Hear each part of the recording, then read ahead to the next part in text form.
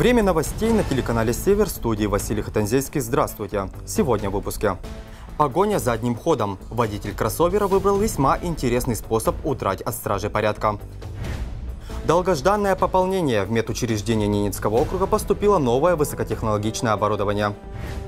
Помогли всем миром. Жительницы Наринмара, получившей травму позвоночника, собрали средства на транспортировку. Об этом не только в нашем выпуске. И в начале выпуска о погоне, которая развернулась на городской дороге 28 июля. Водитель кроссовера пытался скрыться от сотрудников ГИБДД. На кадрах с камеры видеонаблюдения просматривается, как патруль ДПС сначала догоняет иномарку у пешеходного перехода, но при задержании нарушитель сдает назад и уезжает от стражей порядка. В УМВД России по Ненецкому округу инцидент пока никак не прокомментировали. Мы продолжаем следить за ситуацией с детьми из Наринмара, которые отдыхают в санатории Бимлюк. Как стало известно, инцидент поставлен на контроль в прокуратуру Краснодарского края.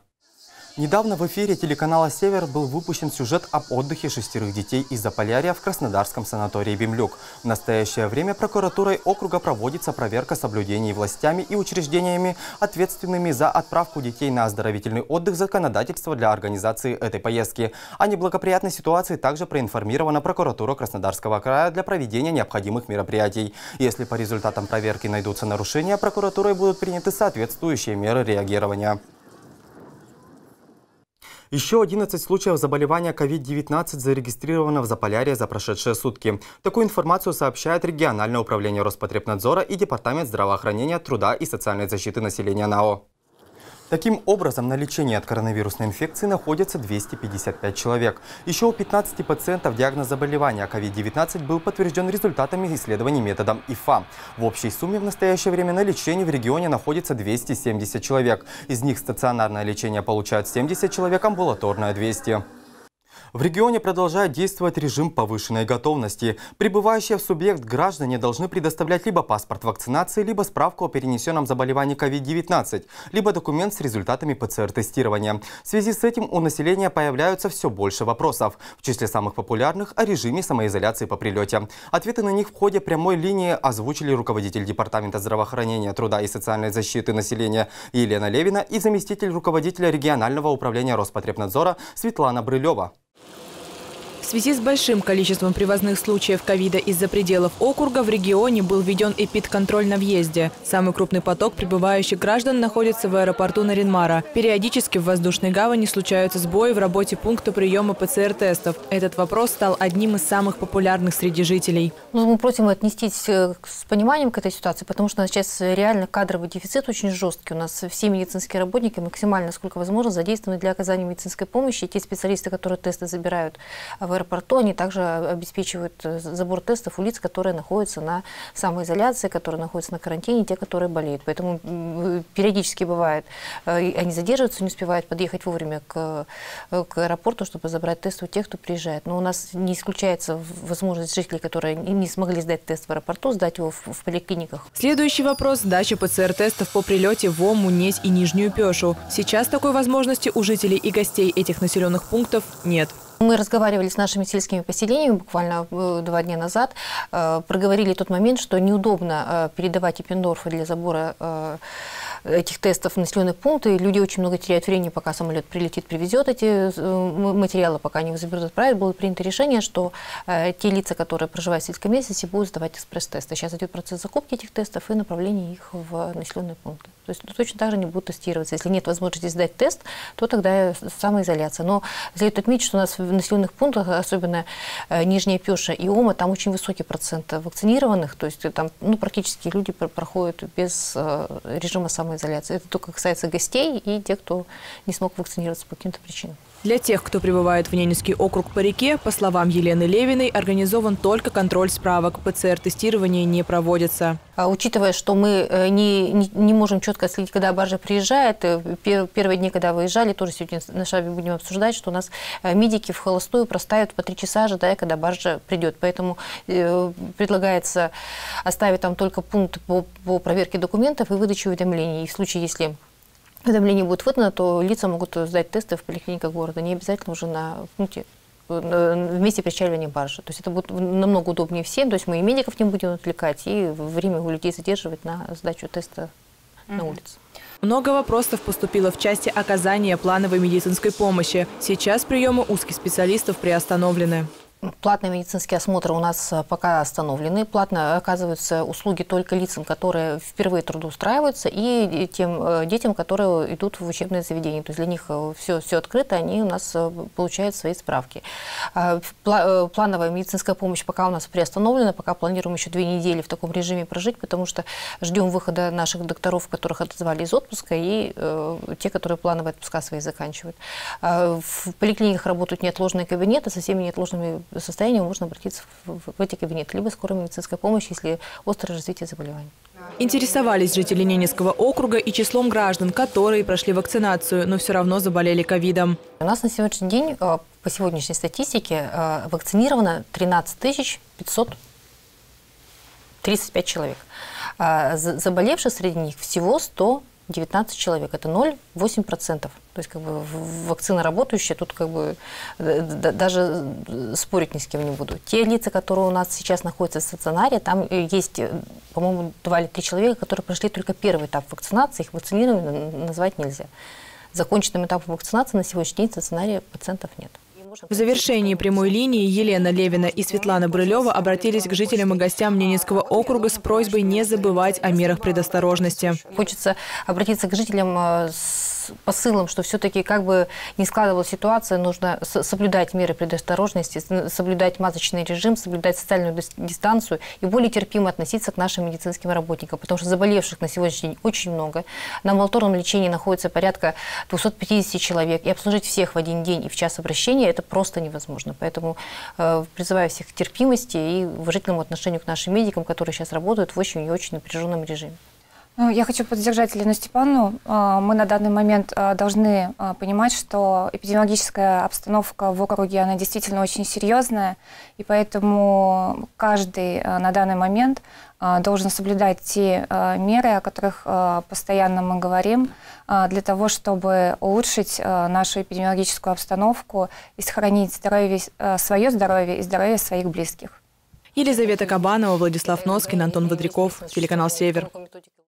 В медучреждениях Заполярья обновлены кабинеты узких специалистов и флюорографии. Речь идет о Ненецкой окружной больнице и Центральной поликлинике Заполярного района. Медицинское оборудование закуплено в рамках программы модернизации первичного звена здравоохранения. Александр Литкова расскажет подробнее. В женской консультации Ненецкой окружной больницы долгожданное пополнение. На базе отделения появился новый аппарат для кардиотокографии. Согласно федеральным клиническим протоколам, исследование плода обязательно на третьем семестре беременности. Оно позволяет распознавать серьезные нарушения, среди которых различные аномалии развития сердечно-сосудистой системы плода. Нам очень приятно, что есть возможность поработать на высокотехнологичном оборудовании отечественного производства. Новое программное обеспечение э, позволяет э, производить исследования в короткие сроки. Если мы работали на старом оборудовании 2010 года э, выпуска, нам приходилось наблюдать пациентку в течение часа, не менее, необходимо было иногда продолжить исследование. Здесь за 15-30 минут можно уже принять решение какое-то по заключению этого аппарата, как ребеночек внутриутробно себя чувствует. Новый аппарат КТГ был приобретен на замену устаревшему в рамках модернизации первичного звена здравоохранения за счет федерального и окружного бюджетов. Вместе с ним поступили и два гинекологических кресла, оборудованных фетальными мониторами. Медицинскую технику обновили и в центральной поликлинике Заполярного района. По этой программе идет обновление медицинского оборудования Рассчитана она на несколько лет вперед. И постепенно будем обновлять э, старое, заменять старое оборудование на более новое, современное, которое удобно использовать в работе э, медицинского персонала и также удобно использовать для пациентов. Всего в поликлинику поступило 5 единиц медтехники. Среди них флюорограф, маммограф, хирургические светильники и аппарат электрокардиографии. Этот аппарат гораздо лучше, чем предыдущий наш аппарат, тем, что он а, имеет э, цветной экран. А, детям получается гораздо быстрее и качественнее снять пленки. Взрослым тоже очень удобно, так как э, время исследования гораздо меньше стало. Добавлю, программа модернизации и развития первичного звена здравоохранения является одной из ключевых в рамках федерального национального проекта здравоохранения. В этом году на оснащение оборудованием медицинских организаций Ненецкого округа предусмотрено 80 миллионов рублей. До конца года в регион поступят 22 единицы техники. Александра Литкова, Владислав Носкин, Антон Выдряков, телеканал «Север». В ходе совещания по подготовке к новому учебному году президент России Владимир Путин поручил министру труда и социальной защиты начать единовременные выплаты в размере 10 тысяч рублей на две недели раньше, со 2 августа. Более ранние сроки выплаты необходимы для того, чтобы иметь в запасе больше времени для подготовки в школу. Напомним, выплата положена родителям, усыновителям, опекунам и попечителям детей в возрасте от 6 до 18 лет, а также лицам с ограниченными возможностями от 18 до 23 лет, которые продолжают обучение в школе. Выплату получат также семьи с детьми 6-летнего возраста, даже если ребенок не идет в этом году в первый класс. По его словам, для этого потребуется внести изменения в постановление правительства, в котором указана дата начала начала выплаты. Министр заявил, что готов провести эту работу оперативно и начать выплату 2 августа. Прием заявлений в пенсионный фонд начался 15 июля. Подать заявление на единовременное пособие можно до 1 ноября через портал госуслуг или лично в региональном отделении пенсионного фонда.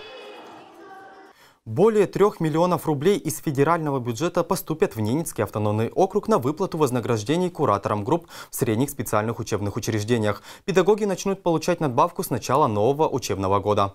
На выплату ежемесячных вознаграждений кураторам групп в колледжах и техникумах в 2021 году в субъекты Российской Федерации будет направлено 2 миллиарда 790 миллионов рублей из федерального бюджета. Соответствующее распоряжение подписал председатель правительства Михаил Мишустин. Помочь педагогам средних специальных учебных заведениях, которые приняли на себя обязанности по сопровождению студенческих групп, поручил президент России. Ранее аналогичные выплаты были назначены классным руководителям. Размер вознаграждения за кураторство составит 5000 рублей в месяц. Педагоги начнут получать надбавку с 1 сентября этого года, в том числе в Ненецком аграрно-экономическом техникуме, на Ринмарском социально-гуманитарном колледже, Ненецком профессиональном училище. При подготовке федерального бюджета на следующие три года также будут предусмотрены необходимые средства на эти цели помогли всем миром. Средства на транспортировку Ирины Вокуевой, которая получила травму позвоночника, собраны. Сейчас наша землячка находится в больнице в Гаграх и уже на следующей неделе планирует вернуться домой, где будет проходить реабилитацию. Катрина Тайбарей продолжит. Вспоминая то утро, Ирина Вокуева еле сдерживает слезы. Наша землячка, учительница химии и биологии одной из городских школ, находясь в отпуске, поскользнулась на мокром полу, упала на спину и получила трансмиссионный перелом первого позвонка поясничного отдела. Привезли в больницу, когда руки ноги шевелятся, течение требует лежания, только лежать, лежать, лежать никакой операции врачи не предлагают. Это очень хорошо. Сейчас Ирина чувствует себя удовлетворительно. По прогнозу врачей, лечение может занять до 9 месяцев. В ближайшие 30 дней жительница Наринмара проведет в лежачем положении. Ей нельзя сидеть, стоять и лежать на боку. После предстоит пройти вытяжку. Далее длительное время носить специальный корсет на прутьях. У меня сегодня прилетел сын вот он решал вопрос по поводу обратной транспортировки меня в город Владимир. Слава все решилось, там подтвердили бронь. И 3 августа мы летим домой. Ирина выражает благодарность всем, кто поддерживает ее в тяжелой жизненной ситуации морально и материально.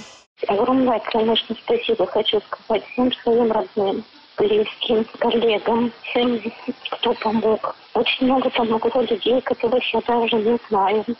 Это большие деньги были собраны, и билет, который мне будет куплен, он будет стоить примерно 165 тысяч, плюс-минус 10 тысяч, как мне сказали. Ну и плюс еще билет сына, который прилетит сюда. То есть нужно купить носилки, покупаем лекарства. Отдельные слова благодарности Ирина Вокуева передает людям, которые сориентировали ее в данной ситуации и пришли первыми на помощь.